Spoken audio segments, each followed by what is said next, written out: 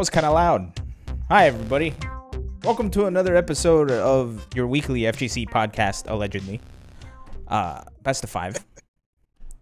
I am Ilan. That's me right there. And I'm joined by the main squeeze, Ace King Offsuit Jerk. I'm never getting rid of that name, am I? Nope. Look, it's a. You know what's funny? Uh, so at work, I've been doing some Brazilian or Portuguese translating. Wow, I'm, I am becoming American. Jeez. Uh, some Portuguese translating, and in like I always wondered why I like giving people nicknames, and now that I'm like going back to my roots in Bra- in Brazil, like that's a cultural thing. Everybody has a nickname. And it's like a term of endearment type of thing. So, but anyway, Steve, I know you wanted to get something off of your chest, so I'm gonna go ahead and give you the floor, and I'm gonna mute myself. So you you roll on in. Okay. So, um, as you may or may not know, I live in Minneapolis. We've had a little bit of craziness in Minneapolis uh, this past year, and it is focused on the death of George Floyd, uh, the murder of George Floyd by a police officer who was convicted today uh, of three separate counts in in uh, association with that murder. Um, I've seen people celebrating, and I'm not going to tell people how to feel about this because I feel about 55, 60 different ways about everything that's happened. For me, this is not a day of celebration. Uh, this is not us something we should be patting ourselves on the back for. Um, we should not celebrate clearing the lowest bar humanly possible. George Floyd is not a martyr. He's not a hero. He's a guy who should still be alive today. And he's not because our system failed. Today is not a celebration of the success of the system because the system failed long before this point. Today is not a celebration of the end of a great challenge because that challenge began long before George Floyd. It's going to continue long after George Floyd. And it's not something that we should forget, but it's something we will forget because that is something that we as a people are good at. We we put out the little fire. Uh, we do the bare minimum to to put out the little fire that we set, and then we move on to the next thing.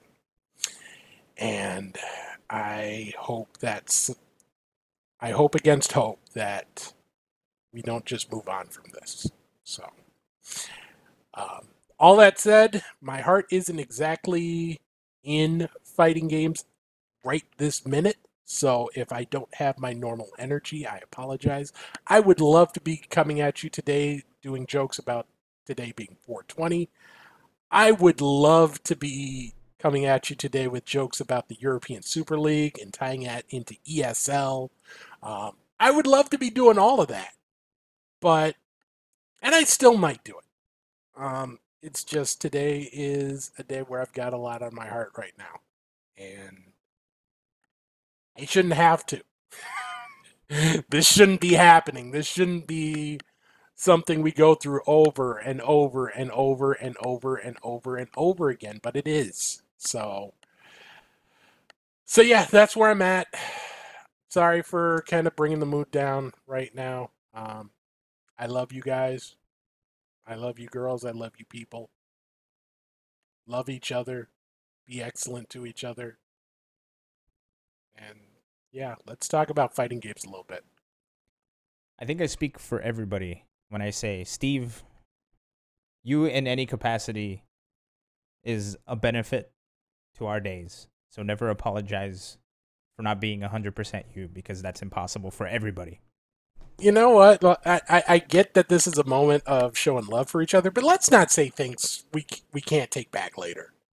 Like I don't improve the day for everybody just by my mere appearance. That's Yeah, you do. like I, I I'm sort of like I, I do my thing, and hopefully I do my thing okay. And sometimes I don't do my thing okay. And that's fine. You know why? Because you're you, Steve. And I'm me. I- And we are best of five. There, we are. There's apparently a rule that all three of us can no longer be on the show at the same time. I know. I finally come back and now you you went missing, now Sharpie's missing. Shar- Sharpie was here last week, and like, like that happened to be the the day that all the sh- stuff I almost swore myself, uh, all the stuff uh, with the shooting of Daunte Wright hit the Mhm. fan, Yeah. and I really didn't feel like I'd be contributing to the show. That's that. That's the other thing. Like, at while we have a trial for a cop, police officer killing an unarmed black person in Minneapolis, we have another officer killing an unarmed black person just miles away from Minneapolis. What? This doesn't have to be a thing. Why is this a thing? This shouldn't be a thing. All right, I, I promise we're going to talk about fighting games. I promise you that. I'm just Nah, dude. Wusa, You're right. Wusa, pressure points. Look, Steve, don't apologize for being correct. Will Yeah. you? I don't want to be correct. I know. I really don't. I just want to live my life and go 0 2 at a tournament again and not have to worry about anything else. That's all I want. I just. Ugh. We'll get there hopefully soon, sooner rather than later. Shouldn't My say soon. girlfriend is flashing. My, my fiance. It, this is taking Oh, a while. to Wait, wait, used wait to- a minute. Yeah. Wait a minute. Steve, you got engaged and you didn't tell none of us? I, it, it, it's. You- you realize you just said flashing. Okay, okay, so I'm getting it from both sides. First of all, apparently I cut off at saying that she was flashing. Which is not what happened. not not not quite. She she was flashing me the heart. She was flashing me the heart. Not where her heart is, the actual hand heart.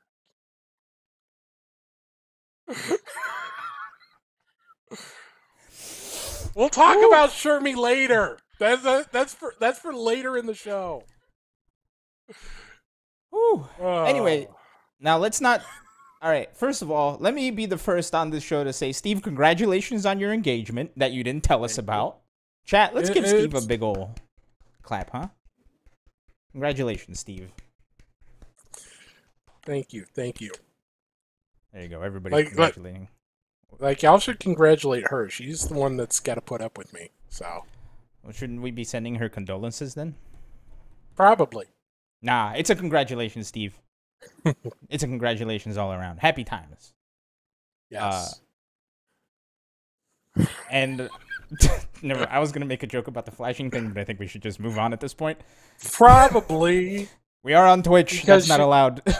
Yeah.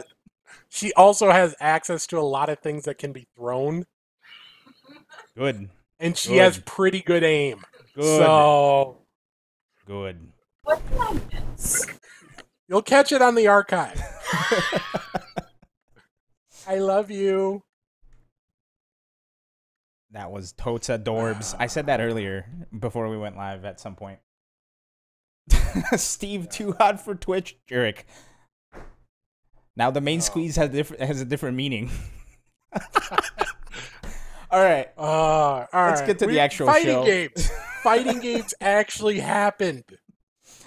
hit it up, Steve. Oh. Do the recap, will you? Man, all right, let's let's do this recap because obviously there are always events that happen every weekend, but there was one in particular today. It's been a while since we've had one of these. And that was a CPT event. Street Fighter 5, the Capcom Pro Tour is back in action. It kicked off with the first of four Japanese events on the circuit with the winner automatically qualifying to Capcom Cup, and that winner was Mago. Five or six months early than a lot of people might have expected. But Mago beat Tokido twice, uh, once in the winners final, once in the grand final, both by three to one margins, uh, to secure his place in Capcom Cup 8, aka Capcom Cup 2021, which will probably take place in 2022. Uh, you see Tokido, Momochi, and Kawano rounding out the top four. Itazan and John Takeuchi uh, tying for fifth. Daigo and Fudo, the Beast teammates, uh, rounding out the top eight. Did you catch any of this? I unfortunately didn't. But damn, Mago being up on the top again, it's been a hot minute. Well, yeah, Mago Mago's been on a bit of a roll. Um, obviously, it's a little different format last year Mhm. uh, with having two tournaments. You, it's one winner from each, and then nobody else gets in. Uh, but yeah, Mago has. it- It's funny because he they actually did an interview. It was uh, James Chen and Vicious who were on the call, and they did an interview with him right after he won through an interpreter. And he actually talked about the September Mago thing Mhm. and kind of, you know, it, it, it hit me because he talked about wanting to quit uh, ga- being a, a player in general.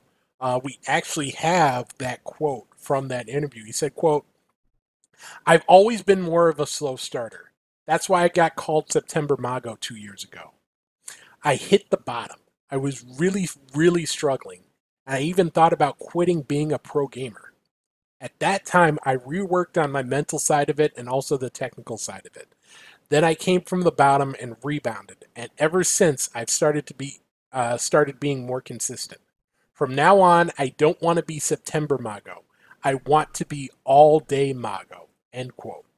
If we were at a, an event, you, uh, I'm 100% certain that everybody would be chanting all day Mago. Oh, I- I- Mago, absolutely. All day Mago.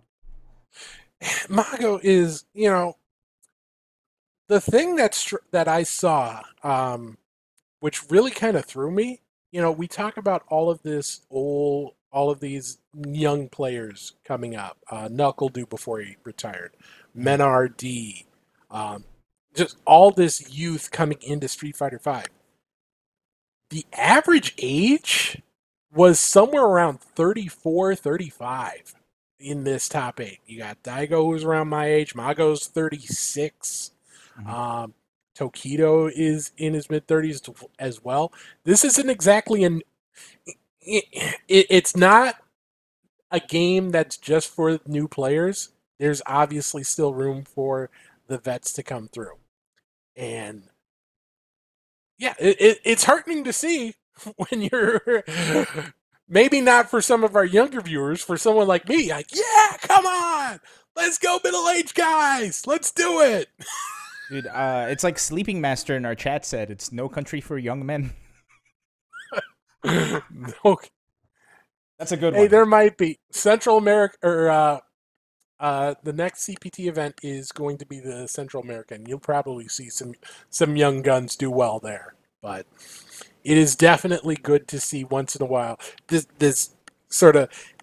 And it's not just the old players; it's the established players too. Mm-hmm. Because we've had this conversation before about online, and you know how it there's this disconnect between being a good online player and being a good offline player. Well, are we really saying Daigo isn't good online? Are we really saying Mago when you got a grand final Mago and Tokido and you've got players like Dai like Daigo in there, like Itazan, like uh Fudo, Momochi. Those are just solid players. Being a solid player offline does translate to being a solid player online, even Yeah. under slightly different circumstances. Remember when I said that at the beginning of the pandemic when we were getting some online tournaments and people were like, online sucks, blah, blah, blah. Everything's going to be different. I hate to say I told you so, but. No, actually, I don't hate to say it. But I told you so. You love to say it. You love to say it. Mhm, It's sure okay. I sure be do. Uh, but no, that's super exciting, man. It. I, I'm really sad I haven't. I haven't. I wasn't able to watch it over the weekend. Uh, I am hoping to go back and watch some highlights when those come out, if those come out. But yeah, uh, and somebody in the chat was mentioning this. I was actually just thinking about it when I was looking at the results screen. It feels like an old school like Mad Catz top eight. MCZ Mago, MCC Daigo. Tokido. Who was it? Was it Fire Liger? Fire Liger being the, in there in the background in in the full Yep. costume. Yeah, and uh, like the, the the great part about Firelight is uh they don't they didn't work for Mad Catz. As far as I know, they weren't hired by Mad Catz. for some reason that makes perfect sense because I can just like someone's like you know there is a segment of our community that if given the opportunity to dress up as an animal and be on stage for, a top 8 they would sign on the dotted line before even there was even an offer of a paycheck. Hmm so, so that does not surprise me at all. No, and look, correct me if I'm wrong, but I'm like pretty certain I heard that they were not hired by Mad Catz. It's something that could be completely wrong, but I want to believe it, so I am going to believe it. And that's something we could do now in 2021. We Yep. we we get to pick the truth we uh, accept. I, I feel like we're dangerously close to going down a slippery slope that's going to delve into stuff that's outside the FGC. so, Hey, uh, it's it's been it's been a year, man. It, yeah, this, I'm with you, dude. this has been a year. So I I let me have my freebie. okay, go all for right? it. Let me have my freebie. Go for it. Speak the truth. No, no, Oh, okay. no. I'm not. I'm not saying I'm taking my freebie now. Oh, okay. All right. I'm just saying there may be a freebie in the future. Okay. All yours. And you, I, you've I, I don't have anybody over here flashing me right now to calm me down. You're uh, you've earned it, and uh, it's weird for me to say that you've earned something on a show that you've been on longer than I have, but you've earned it. I don't, uh, I don't know about that. But, But so Steve, we talked. Ab- oh, go ahead. yes. Go ahead. You were gonna do the No, same no, thing I was you- gonna do. oh, you you do the you do the thing. Oh, you do the I, thing. I was just gonna say, Steve, we can we can keep thinking about what happened over the weekend at CPT and reminisce on the Mad Catz top eight that was. But what about this weekend? Well, we got a few events to look forward to this weekend. Uh, the return of the graphic because we've got a couple of big events. It's- yeah. Look, I have been missing this graphic, but more than that, I have been missing seeing an event with like a billion streams. So, yes, the 2021 World Serpent Championship. This is an online event for uh, BlazBlue Central Fiction. Uh, that is a capital I, by the way, in fiction, not a lowercase l. Welcome to my Uh, hell. So I, I spelled it correctly.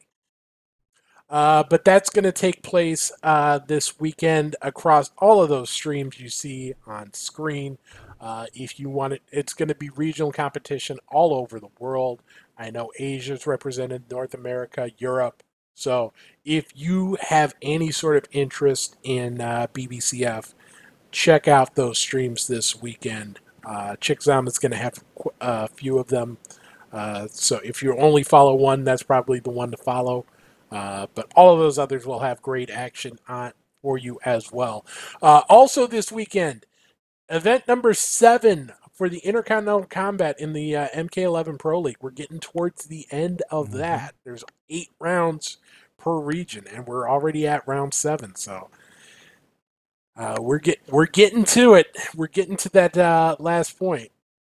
And then also this weekend, uh, we had the qualifiers last week, and I really wish Sharpie was on to talk about it. Uh, but the spring blockbuster for the Skullgirls Championship Series, the first big event of that new Skullgirls circuit. Uh, they had the qualifiers this past weekend.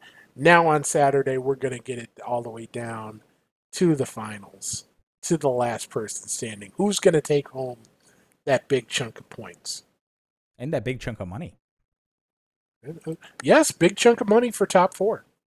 uh, I did see a super cool clip of SonicFox doing what looked like a touch of death, but I'm sure there were like a reset or there was like a reset or two in it. And uh, Sharpie and the other commentator, who I'm sorry I don't know their name, uh, were just losing their minds over. And I was like, hey, Skullgirls is back. Sweet. Not that it ever left, but I'm just it- it's back on my timeline, which I enjoy. So maybe I should put more Skullgirls on my timeline on Twitter. Well, that is going to be uh, an option for you, especially this weekend. So, uh, Ears Skullgirls GG. Yeah. Can we talk a little bit more about Street Fighter? Oh, absolutely. quick. Absolutely. What do you want to say about Uh, Street Fighter? Well, I don't know if you got a chance to watch it, um, but it was really interesting to see they actually played on different stages for the top eight. It wasn't just the grid. Mm-hmm. Or was it? Boy, this is a story that has so many mixed feelings. Uh, because it's great but awful at the same time. So It, it's it it's Yeah. not ideal that they had to go this route, but it is very smart, I will say. So, uh, there is so what you saw uh, if you watched top eight this past weekend uh, for the CPT event, and you might not have because it happened if you live in the U.S. overnight on Friday night and Saturday night, uh, but they used mods at least to broadcast the event. So players, um, so so obviously the grid, aka the training stage, is the most popular stage because there's the fewest things going on. Uh, there's no slowdown, or at least minimal, minimal slowdown uh, compared to other stages where there are more background elements. Um, players actually played on that, but they what what Capcom did is they used a mod that allowed you to replace to play this the match uh, to broadcast the match as if it were happening on a different stage. So play if you were watching the event, you saw them playing on all these different stages. Uh, if you were playing in the v- event, you're just playing on the grid. So in that sense, it was the best of both worlds. What are your thoughts on this? First,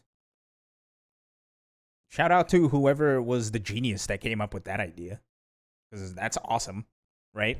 Bottom line, it's like, hey, everybody's complaining about just watching the dang uh, grid all the time.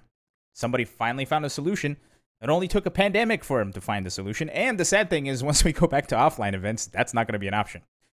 Uh, I worry about that. uh, but uh, there's I have so many mixed feelings about this because, like I said, like we don't have to look at the grid anymore for eight hours or however long those broadcasts are. It's probably like three, four hours. Great, but why can't Capcom just you know make those other stages playable, or maybe even like no, why can't Capcom just make those stages playable? You know. And I don't think, and I don't know if it's like a, if it's like a, I don't know if it's like as easy as like, oh, they just need to change the zero to a one on coding or not. I'm sure there's Yeah. more to it than that. yeah, we're talking about a game that's five years old. At some point, if there was a way to address them that easily, uh, you would imagine that they would have done so by now. Um, you also have to keep in mind that the people involved in the Capcom Pro Tour aren't necessarily the people involved in with programming the game, uh, Right. with deciding where the attention goes in terms of patches. So they should not, you know, it, it obviously it's frustrating if the game isn't if if these other stages don't work and you can't just pick them outright in for traditional means, but the backlash for that shouldn't go on the people operating the Capcom Pro Tour Right. it shouldn't go uh, to the people running Capcom social media. You know, there is a disconnect between what what they can do, what they are able to do, and Mhm. what we would like them to, what we would like Capcom in general to do. Also, I do want to That- bring up. Sorry, go on, go on. Finish your point. No, Sorry, no, sorry. you go ahead. You go ahead, please. I wanted I wanted to bring something up because I just thought about this. This isn't a Street Fighter Five problem. This has been a Street Fighter problem, and I guess it might just be a modern games problem, right? Because remember uh, Ultra? Did you did we ever see the volcano stage? No. So How many stages? How many stages did you ever see in uh, Marvel Three? one, uh, maybe two. Grid. That stupid Winter Wonderland stage where everybody picked the white versions of the characters. Tron Right. Wonderland. Yeah, Tron Wonderland. Thank you. Yeah, or the grid in Street Fighter 4. Uh, so it's not specifically a Capcom or not a Capcom, a Street Fighter problem, or a Street Fighter 5 problem. Sorry. And and I think what people might not understand, um, if you're someone who plays fighting games a lot and you're used to playing on the grid for those reasons, and you don't necessarily care about watching that all the time. If you have an event like an Evo or uh, you know Combo Breaker, CEO, anything along those lines, um, there's so many people where that's their introduction to Street Fighter. That's their first time looking at it. And if and I heard so many times during top eights, like you know, people who aren't necessarily hardcore fighting game players say, Man, are they is this training stage? Are they just practicing? Like it, it might be grand finals of Evo, but to them, because they're seeing everything happen on the training stage over and over and over again, they were thinking that it was, uh, you know, it, it, it didn't seem any different to them than just a couple of guys practicing.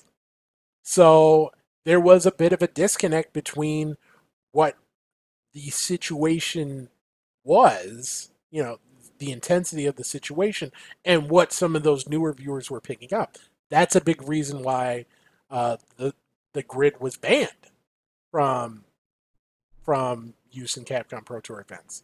So the fact that it is an issue that they needed to address, and obviously they didn't address, they're not addressing it the way we would ideally like to them to address it, but it's still, you know, they should still get props for doing something that helps in terms of uh, you know presenting the game to newer players Yeah, it like I said, it's a cool innovation that was born out of a necessity. Hey, big words. Um, but like I said, uh, what's gonna happen when we do go back to offline tournaments? Curious to see. Will we will we have to play in an online lobby offline? That would be awful. Uh, but I I just I think it's a cool innovation and the fact that it was done on a Capcom broadcast cuz if you hadn't told me like if somebody hadn't told me that they were using this mod I wouldn't have even thought twice about it. Right? Uh but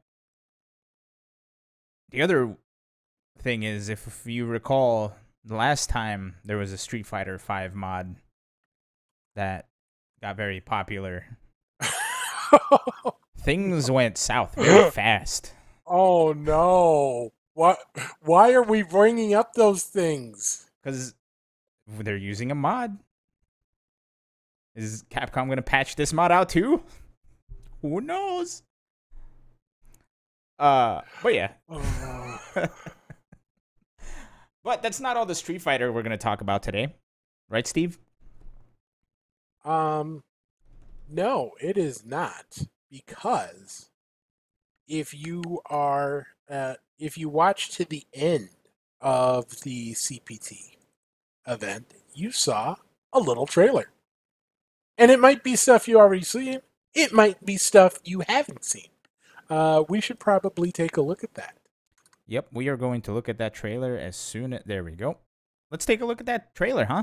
All right, everybody, just wait, wait, wait, wait, wait, wait. Everybody, stop. We have to take a Stopping. moment. We have to take a moment to thank the man, the myth, the legend. Well, The the person, The patron saint. the patron saint of Best of Five, Die by Sword for the resub, 42 months, and all the other 100 gift subs that they have given to us. Die by Sword, the only v- VIP in the best in the besties chat. Thank you, Die by Sword, for everything you've done for the show. We appreciate it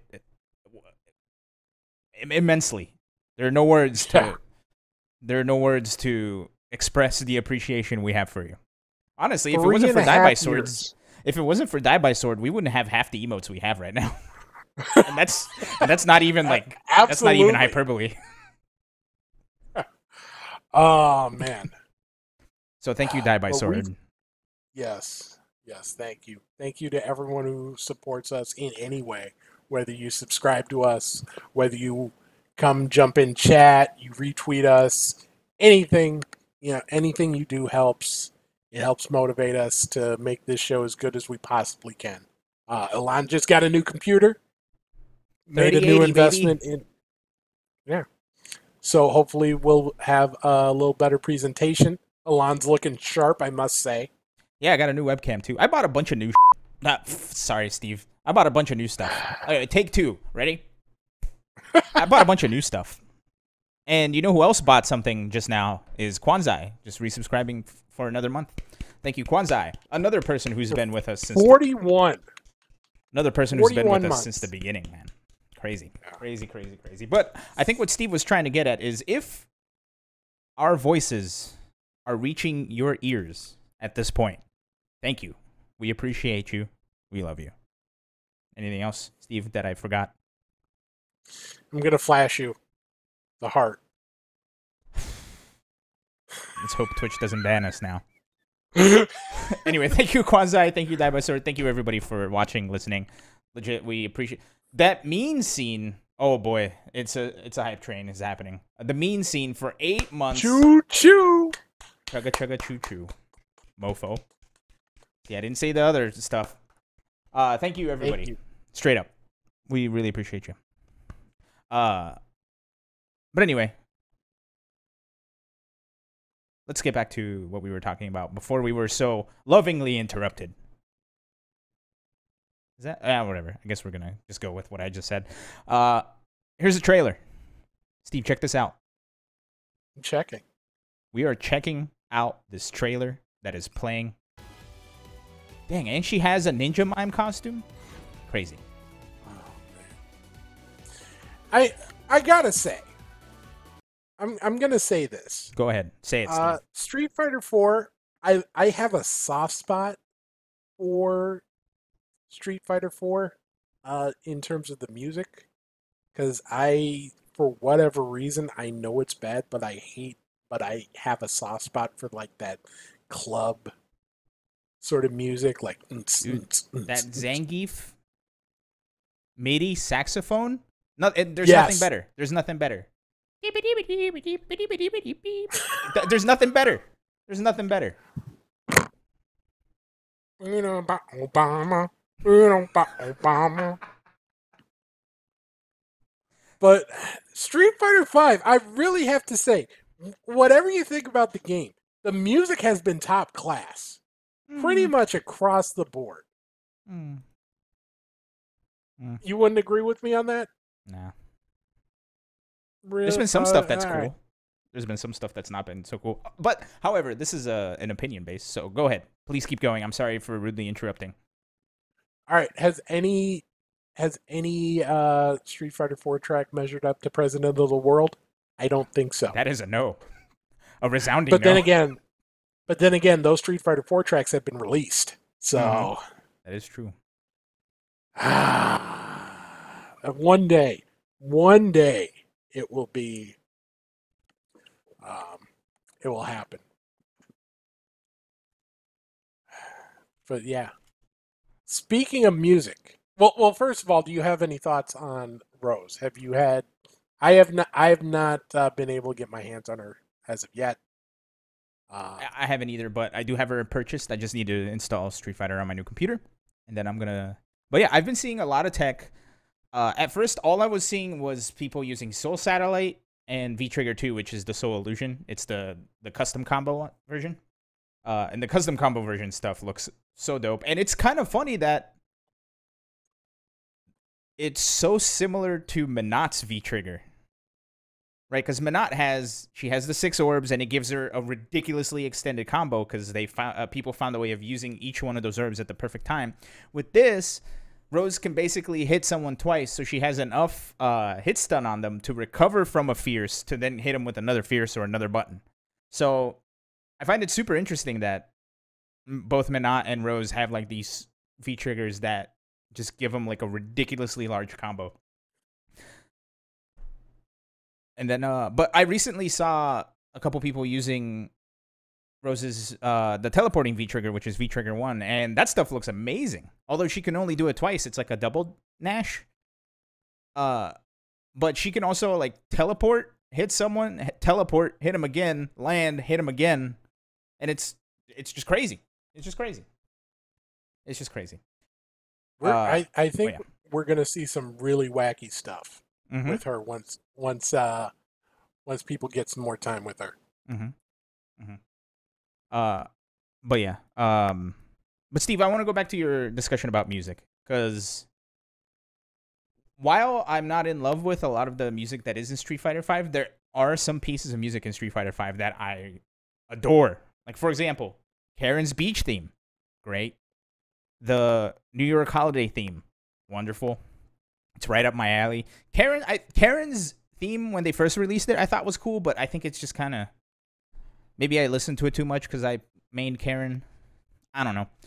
Uh, but there, like some of the music is cool. It just doesn't see. It just feels like it was one dude who just cut it on like uh Ableton and then sent it over, and that's what they got. So it's like there's a part of me that's like, ah, I wish there was a little more to it.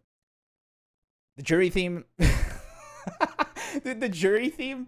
Uh, We don't we don't talk about that one. We Look, don't uh, talk about that one. Uh, did you have you seen the meme of uh of King of the Hill where Bobby's listening to something and Hank puts on the headphones and he just like takes it off and he goes, "No son of mine is listening to this stuff." I saw somebody put the Juri theme on that and it was so funny. Uh, but anyway, See, but but like like for me the biggest ones the biggest misses in Street Fighter 4 in my opinion were Ken and Ryu. Mhm. And the fact that the, I I feel like they nailed him in Street Fighter 5. So maybe maybe that's coloring my opinion of it. yeah. but- well, wh- whether whether you sorry, finish your sentence. What were you gonna say? No, I no, gonna- no, I think you're going to do it better. Okay. I think you're going to do it better. whether you like Street Fighter 4 music or Street Fighter 5 music, I think there's one song that we can all get behind to say that is the greatest song that's ever been created. And unfortunately, we can't play that song because last time I played that song on uh on a video, specifically when I was managing Flo's YouTube channel, uh Rida took it down. So we can't play Indestructible However, Capcom, taking the nostalgia of Indestructible, have provided a ripoff, I mean, an arrangement of it for the 2021 CPT season as the official theme song of the 2021 CPT season. I have it set. Steve, I'm just going to play 10 seconds of it. It's going to fall under fair use. We just have to talk over it. Here we go. All right. Hey, folks, it's Ace. Um, at this point of the show, Ilan decided to play a little bit of the song, about 15 seconds. I'm not going to play that here because it probably violates copyright, and I don't want to get us to get sued into oblivion. But yeah, it's uh, Indestructible slash The Next Door. It's a new cover of it. It's pretty much the same song. Uh, those of you watching on YouTube, I'll put the link to the song here here. I don't know where the infographic goes, but yeah, pretty much the same song. All right, back to the show. Oh God, it didn't want to stop. anyway, We are so if we get sued into oblivion, this is why. uh, but uh, what was I gonna say? Dang, I completely lost my train of thought. Uh oh, uh now I remember what I was gonna say. Indestructible. No, now That's it's called no, now it's called the The next door. the next door. Thank you. That's called Because the that's what next was- door. Yeah. Open the next door. That's what the Japanese version was. The original Japanese version was. oh, was it really? called? Yeah. Oh, I had no idea. I don't, I don't, I had no idea there was a I'll, separate uh, Japanese version to Indestructible. That's crazy. yeah. So Or think- it's called the next door. that's I'll actually link that in chat so you can listen to it. It it it has nothing to do with Flow Rider. It has That's crazy. nothing to do with anybody. Yeah. That is absolutely crazy. I had no idea. I've just learned something new today. I mean, I learn something new every day, but this is what I've learned today. Uh, that's crazy. But Yeah. you can't help but think or like wonder who made this decision to have to just say like eh just put the next door on there. Have it just be a weird remix. Well, just get it over with. Well, this seems to be the proper week for nostalgia. Mhm. Because uh, something, I don't know how, you know, we talk about uh, how Street Fighter 4 and the release of that sort of revitalized the FGC. Mhm.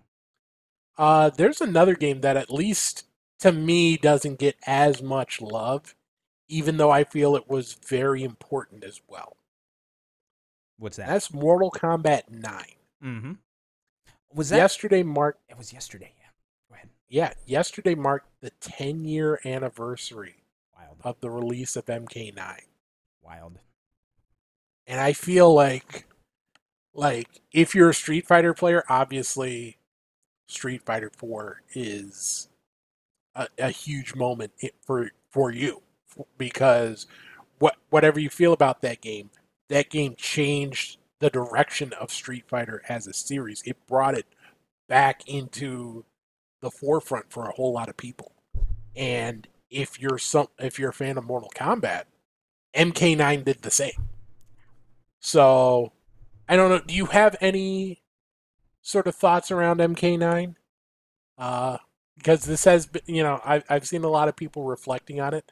I I didn't really delve all that much into MK9. I I kind of came came back along later, but Mhm. uh, So Go.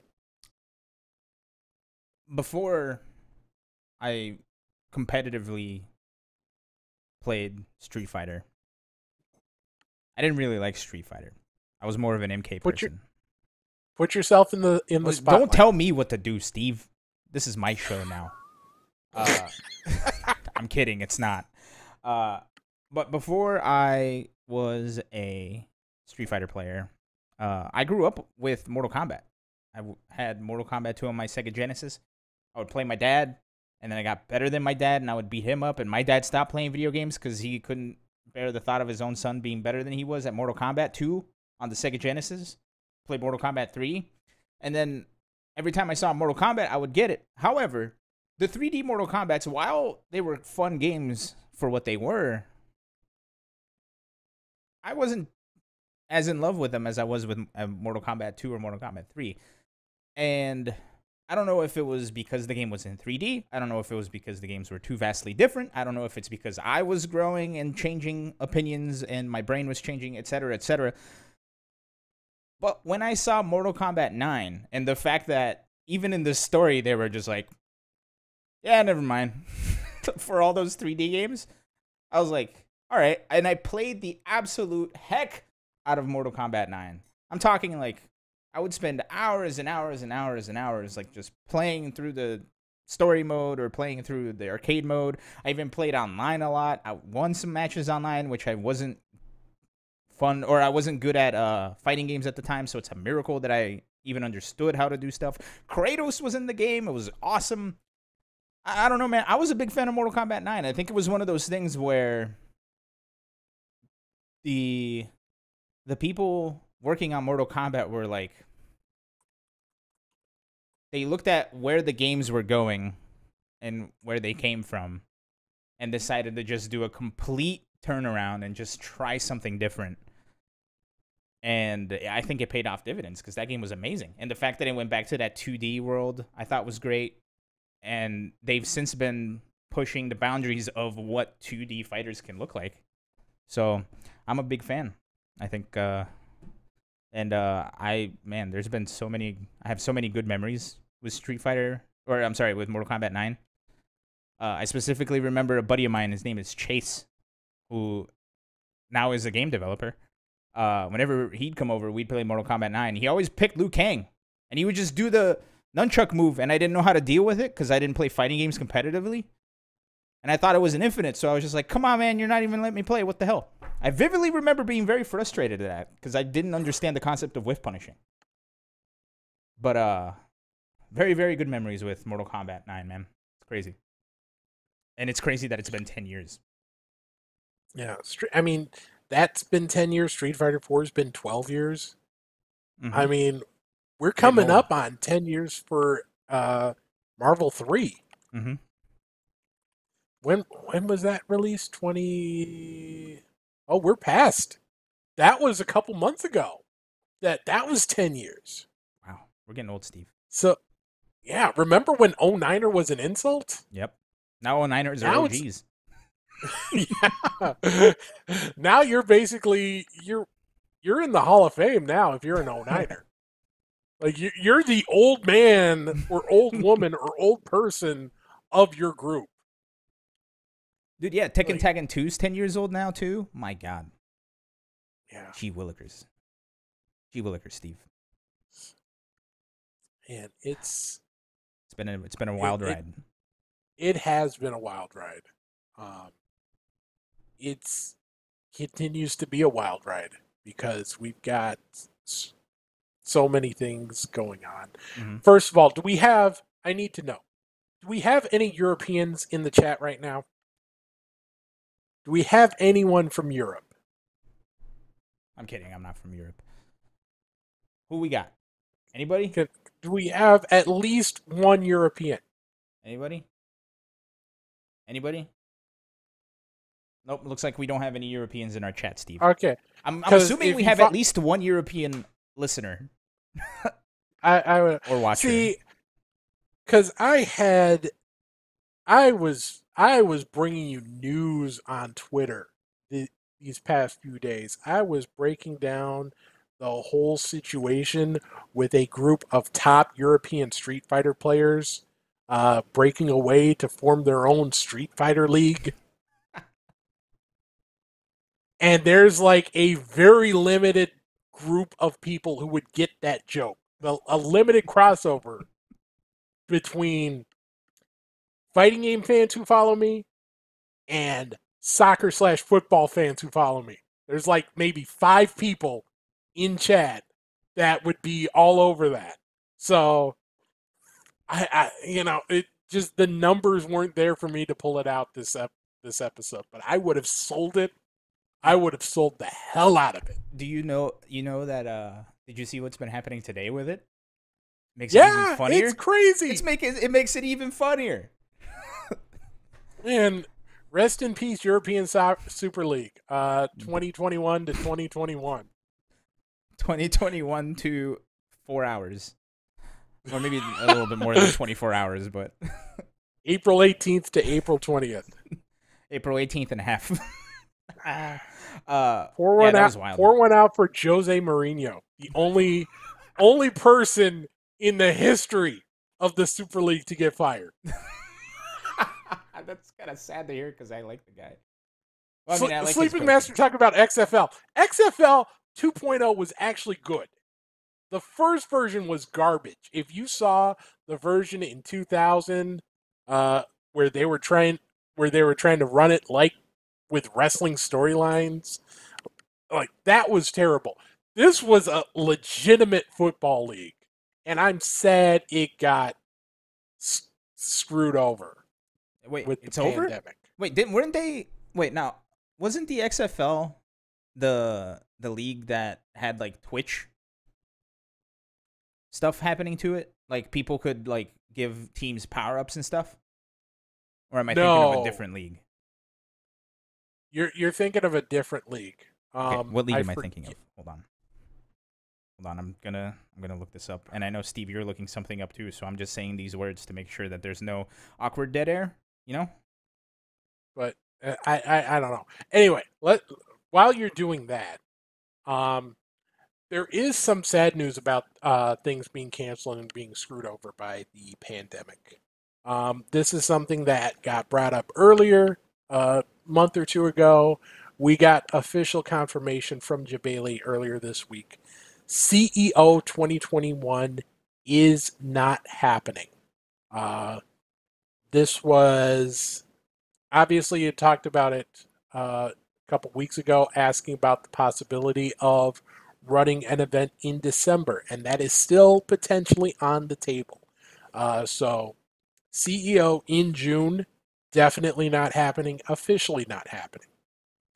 Uh, there is still the possibility that there would be some sort of CEO revival or CEO uh, ascension, something along those lines uh, offline event to be run in Orlando in December at uh, uh, the original uh, at the venue where they run CEOtaku and CEO Dreamland. Uh, I forget the name of it, um, but it's the one in Orlando proper. Uh, they are on the books to return to Daytona Beach in 2022 uh, for CEO in June. So one more year off for CEO. Obviously, CEO is canceled. Combo Breakers is canceled. Uh, Evo's still going to be online. Uh, so we're still looking at possibly, um, possibly still uh, Climax of Night as the first major offline tournament of after the start of the pandemic. And that's The not, Wyndham. Yeah, and that's not the coming Wyndham. until 2020 or November rather. Right? Was that Yeah. Yeah.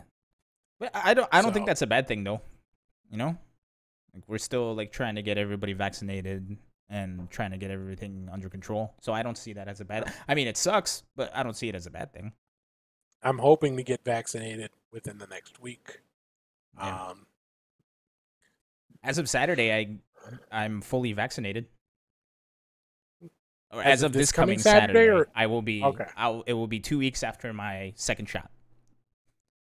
So you can call me modern Ilan because I got the Moderna inside me. Uh, also, by the way, the I'm gonna gloss over what I just said. Uh, the football, the football thing I was thinking of is called FCF, fan controlled football. Check that out. I, I saw cool. like a highlight of that, and that was really weird. But I thought it was cool. That's a neat idea. yeah, I, I mean, it was cool. I'm glad people are are getting into it, but it was it, it, it was a little different for my taste. But you know, I have Yeah. weird tastes. Speaking of uh, people with very specific tastes, uh, there were some people who were very pleased this past week Why is that? with a uh, with the release of a certain trailer. Oh, is it the trailer I have set up right now? For it could be. Is it for King of Fighters? Yes. Okay. So let's uh, take a look at who is the newest character coming to King of Fighters 15. I wonder who it can be. Yes, people were very excited over this. But yes, Shermie uh, is in SNK, or excuse me, King of Fighters 15. People were really, really excited about this uh, because they liked the character or uh, her gameplay. Mhm. There were people who were really, really excited about this uh, for reasons other than gameplay, which, you know, is a separate conversation. But yeah, Shermie is back in the fold for King of Fighters 15. Sorry for punching my microphone. I punched my microphone. Don't get any funny ideas here. Uh, but uh, yeah, she she's a grappler. She looks fun. Can't wait for that game to come out. I say that every time I see a trailer for it. And this is a discussion Chirpy and I had. It's like, all right, another trailer for King of Fighters. When can we get to play the game? Who knows? Uh, you'll get it at some point. yeah, Um, I think maybe I'm just salty that they released their trailers on Wednesday and not Tuesday. Well, it gives you it gives you plenty of time to marinate on it to figure out the proper take. If if you want to get super angry about something, you've got six days to sort of plan your mode of attack for this. Um, Plan your mode of attack. excuse me, Uh, but man, yeah, Shermie and Mai in back to back weeks. Uh, there, Is it gonna there are some people who are very happy about that. Is it gonna be like Team Big or something? Is that what's about to happen? God, no.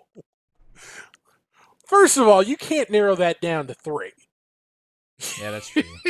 you've got you've got plenty of options for that third team member right there. It's gonna be uh, what's that dude's name? Iron Ironheart? Oh God, No, no, no, no, no. Xanadu. Xanadu. That's what I was thinking of. I hope Xanadu is the third member of Team Big. oh no, they're gonna uh, get the big guy from Karnov's Revenge. Balloon. Uh, that's that would be that's how he comes in on the trailer.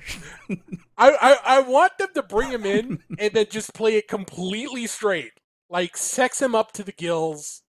Ha, d- like don't even like tongue in cheek it. Just like treat him as if he were a scantily clad beautiful woman, Mhm.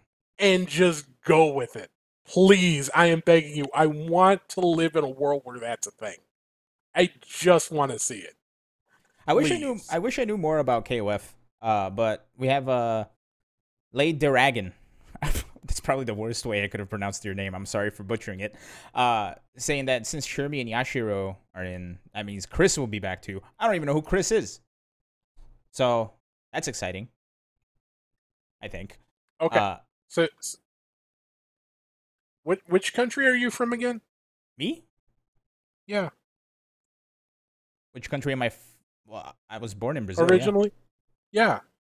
And you and you don't follow KOF? No. You're upsetting some people. Look, man. Here's the here's I'm gonna tell you the situation. First of all, I told you I grew up in Mortal Kombat 2 on the Genesis. All right. Second, Yes. the only other fighting game that I had access to was a copy of, and I kid you not, Rainbow Edition. Uh, that they had at they had an arcade cabinet at this place that I went for swimming lessons, and it had Rainbow Edition on it. And every time after finishing with swimming lessons, my dad'd be like, "Ah, I'm gonna go have a, I'm gonna go sit down at the place for food. Here's a quarter." I'd be like, "Sick." I'm gonna go do a flash kick with Guile. I'm kidding. I didn't know how to do a flash kick with Guile, but I used to just uh mash out stuff with Guile, and sometimes I'd get a sonic boom, and then it would follow the person, or it would follow the opponent, even if they jumped up and down. so I was like, "This game's sick." Man. Uh, That but yeah. that's the that's that's the original homing move. Mhm. Forget Tekken. Forget Tekken. Speaking of, Oh yes. Speaking, Speaking of of- forgetting, my Tekken, set game is on point today. you should be hosting the show, not me. I mean, you kind of are, to be honest, which is good. Uh, so, uh, there have been a lot of players who have been getting the ban hammer on Tekken recently. Uh, and nobody really knows why. However, it can all be tied down. It can all connects. It all connects. It- there's always a connection. Remember from my sleuthing segments, there's always a connection. A lot of players have been getting banned from online games and temporarily suspended for online games, uh, mostly because they they played Lidia early. They went into the online mode with Lidia a little early, and they're they're getting a slap on the wrist. They can't play for like a month. So, and also because a lot of people have been playing with uh bots that automatically low parry stuff and other forms of cheating. So a lot of people have been getting banned. Uh, and I say banned, I, what I mean is suspended, not actually banned. Although I'm assuming there's probably been some people who have been banned. Um, and uh, we've been seeing a lot of those uh, messages from the online mode that's like, you've been suspended from play until April 27th. Get out of here. So it's, uh, uh, as Aris would say, it's Harada's finger coming in and slapping people away. So, yeah, shout outs to 313 win Street gang. and whenever you beat them, they leave. Screw those guys. That- those like wins are all legitimate. Every single last one of them. How dare you besmirch the name of Cax Blastard? I am making more Cax Blastard references this year than I ever thought I would. Is that a bad thing? I, I probably like I Mm. don't even know why I'm doing it. I don't I don't know either, but I appreciate them. Uh but yeah, no, so it's it's one of those things where we were getting like the Street Fighter 5 early Street Fighter 5 symptoms in Tekken where you see people with like 300 wins uh win streak and then you beat them and they just miraculously lose their connection. And then the game doesn't count. Sad times.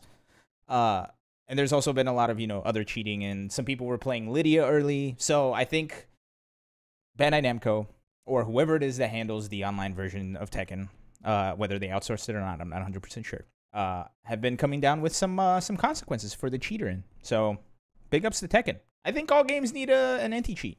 You know, who was the person who did the the cheating in uh, in Street Fighter Five? Who had like the giant uh, Ryu, the tiny Abigail? Remember what I'm talking about? I remember what you're talking about. I forget. I Yeah. completely forget. But anyway, stuff like that. But Uh, but yeah, so a lot of people have been getting suspended and banned. And it's tied to their Steam account too, which means if they really wanted to, they can just make another Steam account and buy the game again. Which a lot of people do tend to do, which is kind of sad. But, you know, or maybe it's good for Bandai Namco. I don't know. They keep buying the game. here's my question though. Things like this.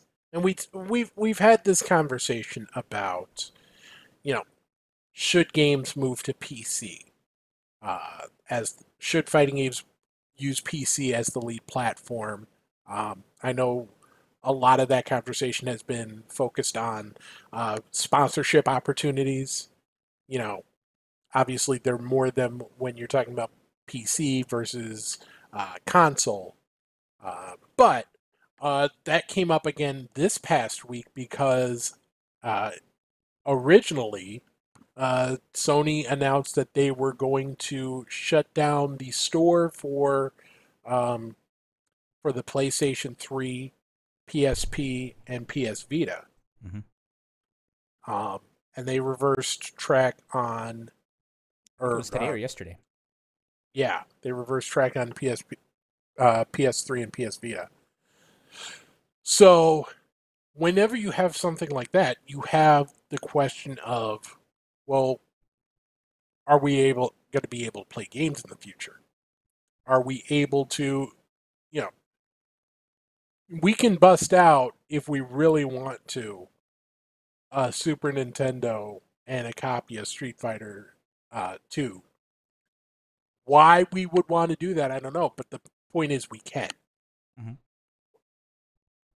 That might not be an option for some of these PS3 games down the line if we're talking about five, ten years uh, Mhm. and service shut down. Marvel vs. so- Capcom 2 Origins? Yeah. So, you know, is there, and a lot of these games, some of them even require an online connection Mhm. to play to verify things. And if you can't get that because the server shut down, then that could cause problems if, if you're talking about a game that requires DLC use or anything like that. So the question is do things like this with uh, the cheating in Tekken and other games, which you know it is prevalent in all platforms, but especially prevalent on PC.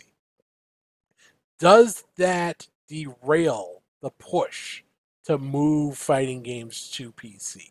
Do you think it has a major impact on that? No, and here's why. When we're talking about moving fighting games to the PC, we're talking about uh, we're talking about the competitive scene, right? And we're talking about what I I think this discussion is mostly tied to offline events. right? Uh, am I wrong about that? Okay. Yeah. I am wrong about that. No, I'm kidding. Uh, I think you meant the other thing. Uh, but from an offline perspective, that doesn't matter, right? Because you're having the game, you boot up Steam or whatever, you start playing it. However, with these uh with the switch to PC, it's what Sleepy Master just said in the chat. It's tied down to economics and it's tied down to actually customs too. Like we're or not, uh I think like I want to use the term vernacular, but vernacular is not necessarily the correct term because vernacular is for language. However, the quote unquote cultural vernacular of DFGC when it comes to cons or when it comes to playing it offline is consoles, right? Because at the end of the day, consoles plug it in, click the game, game plays. PC, it's a little bit different. You have to turn it on, you have to open up a program, and then you have to uh, make sure that everything is working. You have to build the correct PCs. You have to have the right parts. Things can go awry in more ways than one, which can also happen to consoles. However, consoles tend to be a cheaper and b reliable in the sense that you're not going to get the graphics card of a PlayStation 4 to burn out because you overclocked it or something, right? So it's it's tricky especially you know i always i always like going back to when wednesday night fights had the alienware sponsorship and they started playing uh ultra, ultra on pc and all the troubles and the trials and tribulations that they went through where you know you had to restart the game when you plugged in a new computer or a new controller. Some controllers didn't work. Uh you know so it's And, gra- and there's granted, pros and cons. That that was a Street Fighter problem. That wasn't necessarily a PC problem no. because there are some games that handle that those sorts of situations far better yeah uh, than Street Fighter did in that case. Right. Very true.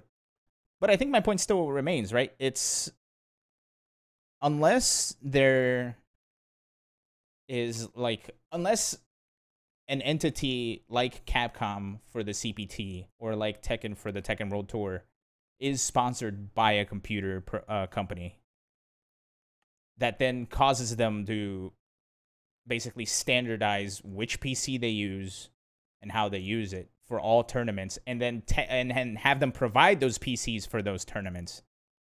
I think until that happens, it's a lot it makes a lot more financial and logical sense to stick with consoles on the offline spectrum. especially since you know mo- when you're talking about tournaments most of these big tournaments the consoles are supplied by companies like uh, oh i forget the name but gaming Uh, generation Gaming generation. Yep. that sort of thing And those Where are they those have- leases, right? Those are basically rentals.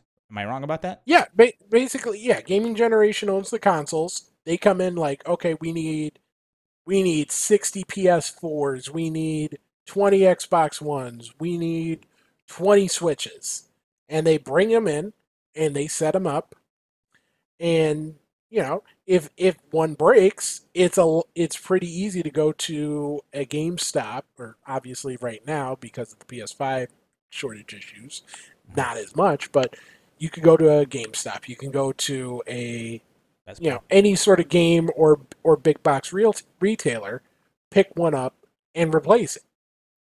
Not quite as easy to do with pc Mhm. um, i think that is a big big uh, detriment because you know when we're talking about uh, events yeah, uh, there aren't that many esports events that deal with that sheer number of systems. You know, there are certainly ones that that have as many systems as you might find at an NCR or an SCR.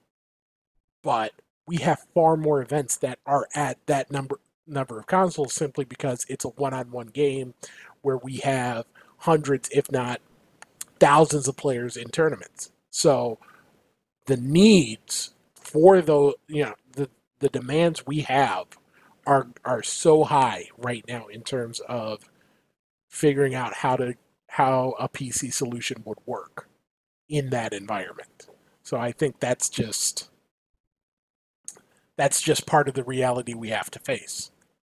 So uh, there may be ways to get around that. There may be a company that says, you know what, here's what we're going to do. We're going to, you know, here are the minimum specs. Here are all the PCs that will work with that. You know, and and, and someone may throw it down, but I think it's going to take a big concerted effort to make that happen. I don't think it's too far from reality, to be honest. But it's one of those things where until we have somebody who steps into the fray, like an Alienware, to step in for a giant major and find the best way to do it, and and that is both best for whoever the company is that's sponsoring it and for us as players. Until that happens, I think it's gonna be it's gonna be a far, far-reaching thing. Steve, we're about 10 minutes out. I'm sorry, eight minutes out from the end of the show. And I think there's one more thing I wanted to talk about before we say goodnight. Uh, and if you have anything that, if you wanted to talk about anything else afterwards, we still have time to do that. But uh, it came out today via Jiyuna, who is the the uh, the keeper of the translations over to uh, between us and the uh, Japanese side of things because there was a giant tweet by the ArcSys uh, Guilty Gear Strive account in Japan. It was all in Japanese. I unfortunately do not read Japanese. I wish I could. Uh, but Jiyuna gave us a translation, and it was in regards to their location tests for Guilty Gear Strive. Uh, and unfortunately, it is kind of a uh, bummer piece of news because uh, due to COVID, they are going to be scaling down the number of location tests. But uh, the tweet from Jiyuna is uh, due to corona concerns, the GGST arcade loc tests got cut down to just two arcades in the less populated parts of Japan. Good decision. Just gotta pray there are some tech monsters out there posting up the changes. Now, it's cool that they can still find a way of doing the tests.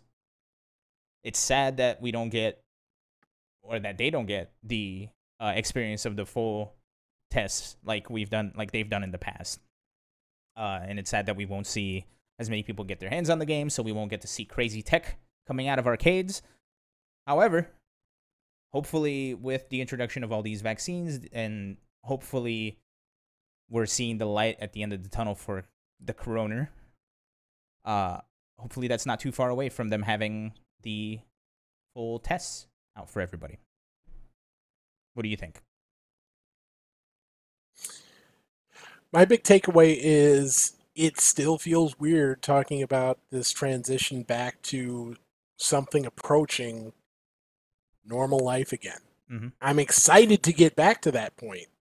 Uh, but you know, it's it's been such a year plus that you know we we we imagine how we have how life has gone, and then everything changes, and we've gone through so many different ways, some good, some bad, of trying to adjust to, you know, this this new reality.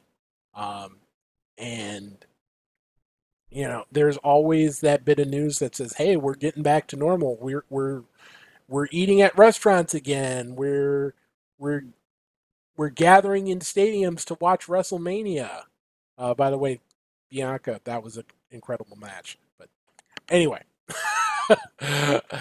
but then there's this there's always that bit of reality that sets back in like oh yeah we've still got this massive pandemic that we're you know even though we're we're we see some light at the end of the tunnel we still got to deal with it Mhm. and it's always weird to see something get caught as you know something like a location test get caught with that um, you know, in, in the grand scheme of things, it's a small thing to lose. But it just sort of sucks that it, you know, it's going to make it a little harder for ArcSys because this means less information they can gather. Hopefully, it's still good information and they can still make good balance decisions based off of it. Um, still get valuable feedback, but obviously it's less than ideal. Not Yeah. as bad as they got hit with uh, with uh, Granblue though. Mm-hmm.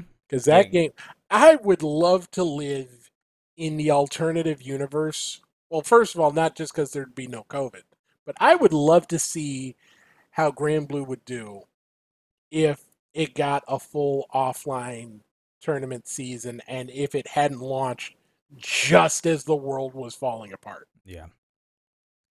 Man. Although, I think if it had decent netcode, maybe. Although, granted, like that's one of those things where nobody was accounting for, you know, the impending doom that this virus would bring. Um. But yeah, uh, and I mean, look, we live in an era where we had the open beta test for Blaze or for Guilty Gear. Wow, did I almost just say Blaze Blue? I think I had Granblue in my mind, and I said BlazBlue. Uh, Are you did- sure? Are you sure you're talking about Blaze Green? Blaze Green. Because because a lot of people are playing that today. Yep. that is true. Uh, also, you know what? I'm really sad. and if you're gonna play, oh, go ahead. I, I ahead. was gonna say if you're gonna play, play responsibly. Play No, responsibly for sure. Not everyone wants to play that game with you. You know, if if if, if you want to find some people to play with, great. Just do so responsibly. That's all I'm gonna say. For sure. Uh, the other thing I'm upset about is today was supposed to be Doge Day for Dogecoin, and that was a bust. Nothing happened. It went down 10 cents.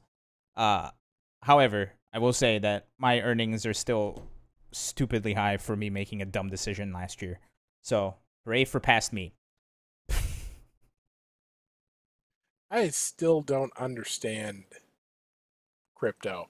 Uh, so I'm Like, gonna get to that. Where can you spend Dogecoin? You can Is buy. it just purely?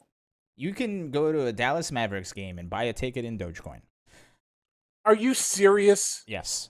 Uh, however, there's something even more serious before we get to that, and that's Die by Sword gifting a sub to 420 Blaze It.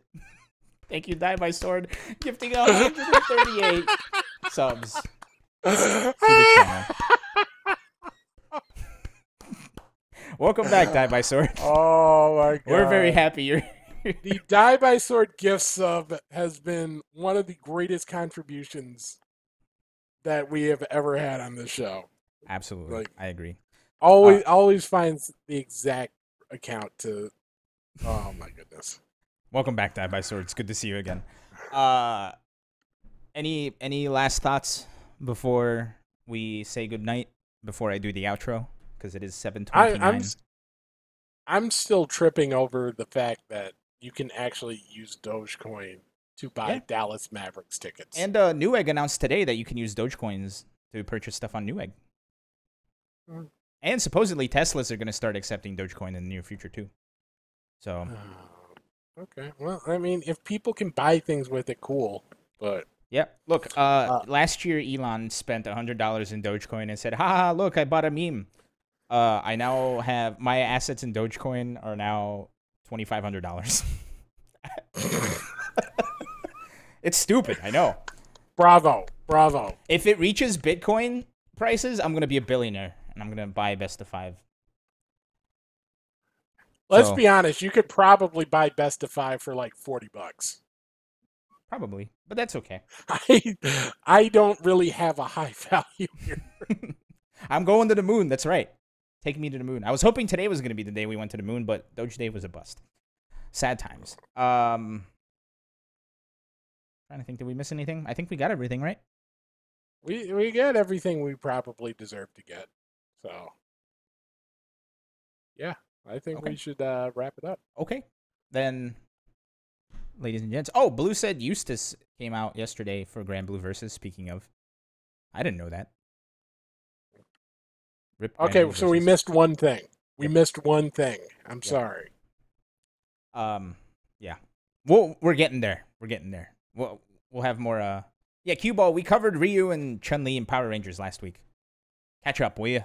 Jeez, trying to backseat host the show here. Uh, I'm kidding. Uh, but uh, anyway. A new K- oh, we know there's a new KOF trailer tomorrow. We talked about. All right, chat's getting on my nerves. I love you all. Uh, uh, thank you everybody for joining us for this week's episode of Best of Five. I have been Ilan. There's my info right up there. This has been the main squeeze, the Steve Ace King Offsuit Jurek. Follow him on Twitter at Ace King Offsuit. Master of and I will have a schedule. Uh, I'll have a full schedule for the uh, uh, World Serpent Champion out later this week. So Word. Uh, so that's been it for us today. So thank you everybody for joining us. We'll be back next week with more shenanigans, more best of five, more trying our best to talk about fighting games. but that's it for us. We'll talk to you all next week. good night, Canada.